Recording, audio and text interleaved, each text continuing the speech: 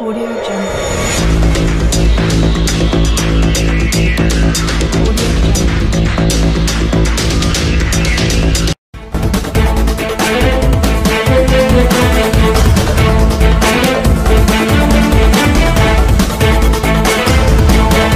Assalamu alaikum.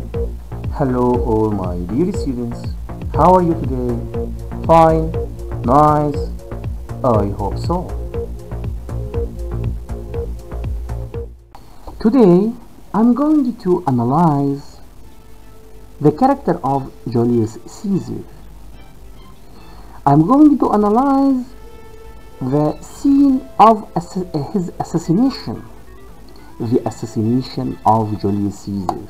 First of all, the conspirators charge Caesar with ambition, and his behavior substantiates this judgment.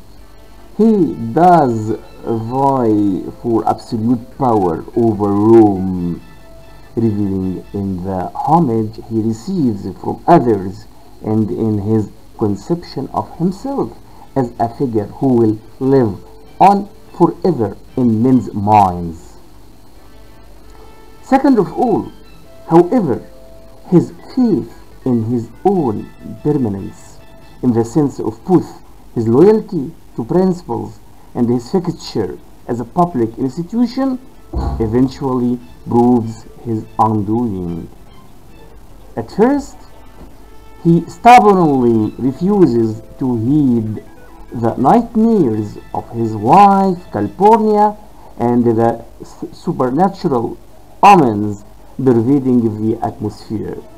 Though he is eventually persuaded not to go to the Senate, Caesar ultimately lets his ambition get the better of him as the prospect of being crowned king proves too glorious to resist.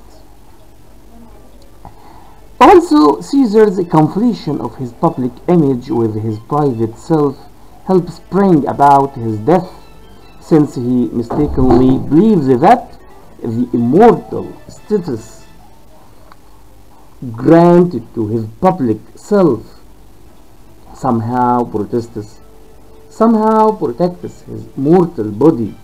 Still, in many ways, Caesar's faith that he is eternal proves valid by the end of the play.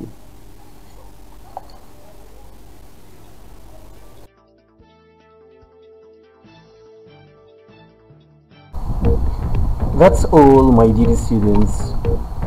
I have now come to the end of my presentation. I have now come to the end of my video. Please study hard, do your best. Thank you for listening and watching. Assalamu alaikum.